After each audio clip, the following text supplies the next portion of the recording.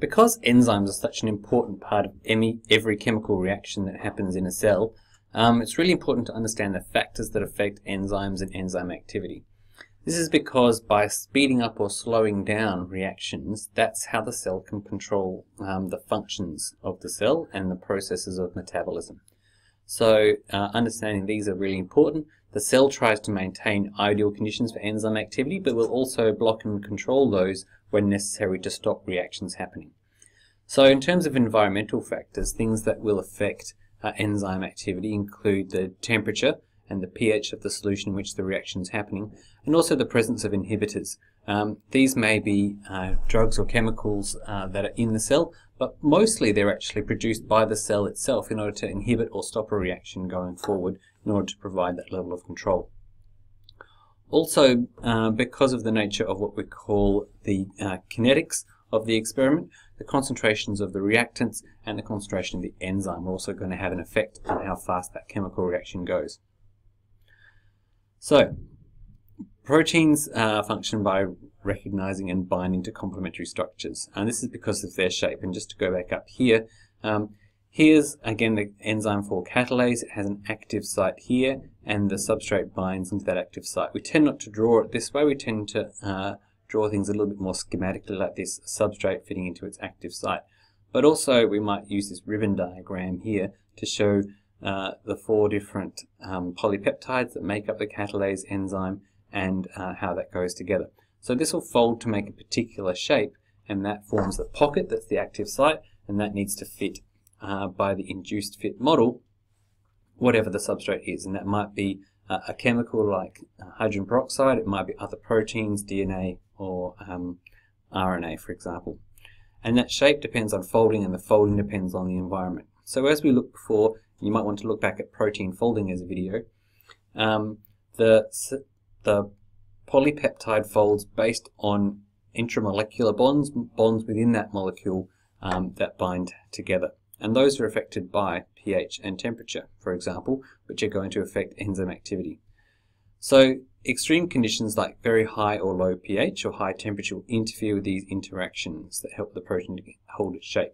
And if the temperature, for example, goes very high, the uh, protein might unfold permanently. So this diagram shows perhaps some important uh, side chains on this active site that are going to bind to be complementary to this substrate and those need to be lined up and they're on different parts of the polypeptide chain which is being held together by these intramolecular bonds. If we heat this up or provide extreme pH those bonds may longer may no longer function and the protein here, the polypeptide, is going to unfold. That means that these two side chains and that one are now no longer together, and therefore we've destroyed the active site, and this is a denatured enzyme. Uh, so this is something we're going to explore in terms of our practical. What conditions are going to um, cause this to uh, not function so well and end up being more like this? The other thing that happens, even if the protein is um, in good conditions, is that we can block enzyme activity using inhibitors. There's two main types, competitive and non-competitive. So a competitive inhibitor, shown here in blue, uh, can bind to the active site but is not a substrate for the reaction. Uh, because it's occupying that site, it's competing with the substrate and this substrate can't get in there anymore because uh, the competitive inhibitor is blocking it. Obviously the presence of the competitive inhibitor is going to stop that enzyme from functioning and therefore slow down the reaction. Uh, this type of inhibitor might bind somewhere else that's outside the active site, but because it's caused the binding here, the shape of the protein has changed slightly, forming like this, and therefore, uh, again, the substrate won't uh, bind or won't bind as much to that, so this non-competitive inhibitor is inhibiting or slowing down the possibility of um, that enzyme from working. It's just important to note that competitive inhibitors and non-competitive inhibitors might not completely block the enzyme. So if there's some of this, then some of the enzymes will still function and sometimes this substrate can knock out that one and replace it. So a competitive inhibitor doesn't stop the enzyme working completely, it just slows down the reaction rate.